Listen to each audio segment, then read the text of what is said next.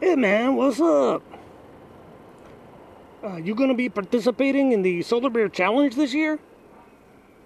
What? You don't know what the Solar Bear Challenge is? Ah, oh, come on, man. It's a lot of fun. Here, let me tell you all about it. Well, you see, a long, long time ago, in uh, a land far, far away, I think it was called Chicago, they, uh, there was this dude. His name was Chuck uh, suburban rider, I think he calls himself. Kind of looked like Santa Claus. Anyway, uh, this guy, Chuck, he was participating in this other challenge called the Polar Bear Challenge. Now, the Polar Bear Challenge is kind of crazy. I mean, these guys get on their motorcycles and they go out riding in sub freezing temperatures and freeze their balls off, man. But, you know, they have a lot of fun doing it, I guess, you know, whatever. But anyway, so uh, Chuck he's thinking, you know, he's got a lot of people that uh, would like to participate in the polar bear challenge, but they can't because they live in warm climates. You know, places like uh, France and the United Kingdom and Florida and Texas and, and, you know, other foreign countries like that, you know? You know what I mean, man?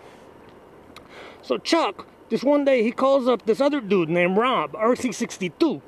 And he says, hey, Rob, man, how about setting up a challenge for the guys that live in these other foreign countries where it's warm and it's, you know it's, it's, too warm to ride in the winter and do the polar bear challenge? So Rob thought about it for a while and he said, "All right, Chuck, I'll do that for you, man. I'll set something up."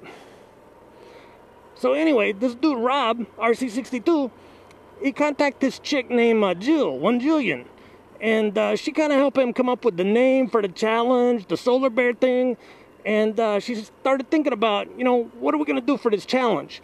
And uh, she told Rob, she go, you know what? It would be kind of cool if you spelled out the name Solar Bear using street signs. So Rob thought, oh yeah, man, that's cool. So Rob set up this challenge, the SBC, and he ran the challenge and a whole bunch of people participated a lot of people watched and they laughed their ass off man because it was just so funny. They'd find a sign they'd see a, a letter to spell out solar bear and uh, when they find the sign they get off their bike and they run around and they start chanting solar bear solar bear solar bear. It's funny as shit man. So anyway the winner of that challenge was Gogosaur and Gogosaur he decided he's gonna host the challenge last year so Gogosaur did another challenge where you find these signs and you run around your bike and you know it's funny as shit, man. I tell you, man, it's, it's funny. You you really got to see it. So, so anyway, for this year, coming up on December first, Zepoxi, he's another dude out in Belgium or someplace. You know, he said he would do the hosting. So anyway, it's about to start, and I, am gonna participate, man. I'm on my bike now, kind of practicing. Oh, there's a sign. Oh, solar bear, solar bear, solar bear. See, ha ha ha ha. it's fucking funny, man. I just can't tell you. Anyway, I hope you'll participate in the SBC. It's gonna be a lot of fun. It's starting December 1st, 2012.